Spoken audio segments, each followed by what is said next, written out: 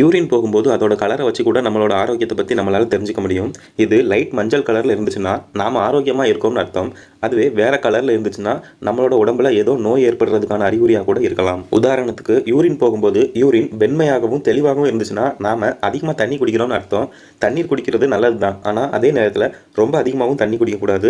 அப்படி குடித்தா அது ஓவர் ஹைட்ரேஷன் ஆயிரும். நம்ம உடம்புல அதுவே நிறைய பிரச்சனைகளை ஏற்படுத்துறதுக்கான வாய்ப்புகளும் இருக்குது அப்புறம் யூரின் போகும்போது லைட் மஞ்சள் கலரில் போச்சுன்னா நாம் ஆரோக்கியமாக இருக்கும். நம்ம உடம்புல எந்த பிரச்சனையும் இல்லைன்னு அர்த்தம். அதுவே டார்க் மஞ்சள் கலரில் போச்சுன்னா நாம் சரியாக தண்ணி குடிக்கலன்னு அர்த்தம். இந்த மாதிரி டார்க் மஞ்சள் கலரில் யூரின் போனால் தாகம் எடுக்கும் போதெல்லாம் நல்லா தண்ணி குடிக்கணும். யூரினை அடக்கி வைக்காமல் வர நேரமெல்லாம் கரெக்டாக போயிடணும். ஒரு சிலருக்கு ப்ரௌன் கலரில் போகும். அப்படி போச்சுன்னா அவங்களுக்கு கல்லீரல் சம்மந்தப்பட்ட நோய் இருக்குன்றதை தெரிஞ்சுக்கோங்க. ஒரு சிலருக்கு ரெட் கலரில் யூரின் போகும். அப்படி போச்சுன்னா அவங்களுக்கு யூரினோட பிளட் மிக்ஸ் ஆகி வருதுன்னு அர்த்தம். அப்படி இருந்தால் அவங்களுக்கு சிறுநீரகத்தில் கல் இருக்கிறதுக்கு வாய்ப்பு இருக்குது அப்படி இல்லைன்னா புற்றுநோய் கூட இருக்கிறதுக்கு வாய்ப்பு இருக்குது ஸோ யூரின் லைட் மஞ்சள் கலரை தவிர தொடர்ச்சியாக ரொம்ப நாள் வேற எந்த கலரில் வந்தாலும் உடனடியாக மருத்துவரை தந்துச்சு ஆலோசனை பண்ணுறது தான் நல்லது.